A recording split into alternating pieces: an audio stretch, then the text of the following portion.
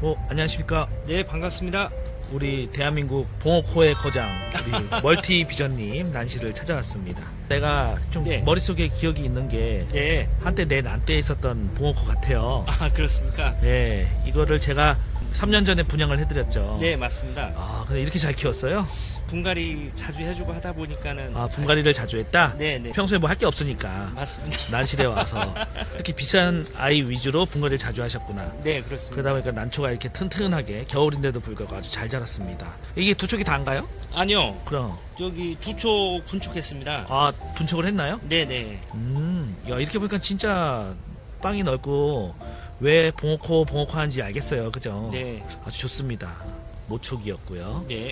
이 녀석 히스토리를 잘 기록해줬으면 좋겠습니다. 여기가 부- 뛰어서 분양 나간 건가요? 예, 예. 첫 번째로 분촉한 겁니다. 어, 실례지만 대략 가격이 한 얼마 정도로? 대략 한 1,500 정도 아, 됩니다. 1500 정도. 네. 지금 봉어코 성촉 기준으로 한 1700, 1800 하는 걸로 알고 있는데 네. 뛰었을 때 좀 조금 했을 때 한 1500 정도의 분양을 해주신 것 같아요. 네.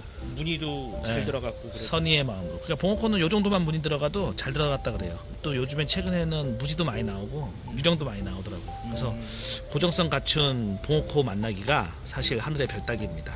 아. 어 여기도 하나 있는데요? 그거는 어. 어. 제 분촉했습니다. 아 어제 분촉했나요? 네. 어디서 분촉한 거예요? 요게 모촉이 모촉에서 네, 네. 하나 둘셋 네 촉이 돼 버렸네요. 저한테 갈 때는 한 촉에 뭐 조그만 거 네. 애가 하나 붙어있던 건데 얘가 애가 같고 네, 맞습니다. 그죠 몸에 붙어도 얘가 같고 근데 새로운 애들을 붙여서 오히려 밑에 있는 애들이 두 개가 분촉이 됐네요. 네, 맞습니다. 와.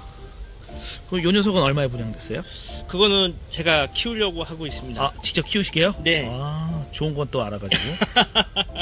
어, 그러면은 요거를 본인이 키우시겠다면 요거는 분양하겠다는 거잖아요. 예, 맞습니다. 야, 이건 진짜 탐나는데요? 이거는 뭐 거의 뭐 성체니까 네. 봄 되면은 또 바로 새끼들을 또 붙일 수 있으니까 아주. 탐나는 봉어코입니다. 연속성도 좋고. 그래서 봉어코를 키워서 재미를 많이 보셨나요? 네, 재미 많이 봤습니다. 아, 어떤 재미를 많이 봤어요? 어, 돈보다도 일단 저에 대한 약간의 그 명성이 어, 높아졌습니다. 아, 프라이드가 좋아졌다? 네, 네, 네. 그리고 요거 이제 줄선 사람도 네. 매일같이 와서 이걸 보러 왔을 거 아니에요. 그렇죠. 그러면 이제 요거 하나 남기고 요거 두 요거 두 화분은 분양이 끝난 거네요. 네, 그렇습니다. 그럼 이제 요거 하나로 다시 초심으로 돌아가서 네.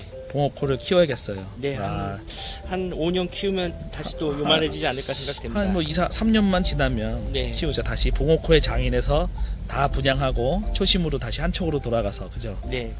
야.